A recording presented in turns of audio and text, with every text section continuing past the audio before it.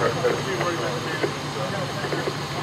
first of all, the spelling of your first and last name for the uh, producers in LA? Okay, my name is Bob Crouch, C-R-O-U-C-H. And your title? I'm a battalion chief, Montclair Fire Department. Tell us what happened.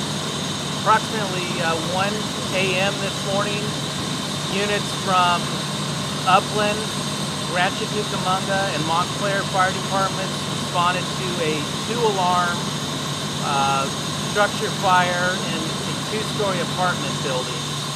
Uh, once we arrived on scene, found uh, two apartments well involved in fire, uh, spreading to the two adjacent apartment, apartments, and uh, we did have some displaced occupants as well, including a, uh, a burn victim and also some possible respiratory uh, uh, distress.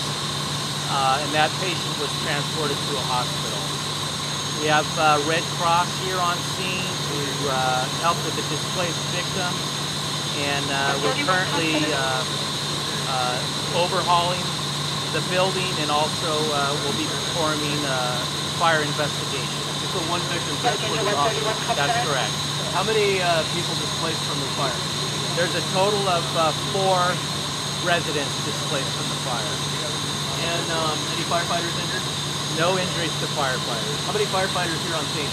We had uh, two alarms, so uh, we had uh, 10 units with approximately uh, 20, 22 firefighters. Any cause yet? Uh, unknown at this time. It's still under investigation. Um, estimated damage.